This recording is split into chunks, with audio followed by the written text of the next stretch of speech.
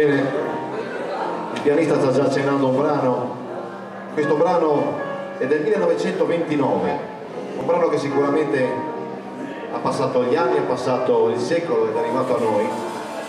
E si tratta di un brano che è stato poi inciso mi sembra nel 34, 35 da Benny Goodman, Starfelt of Alabama.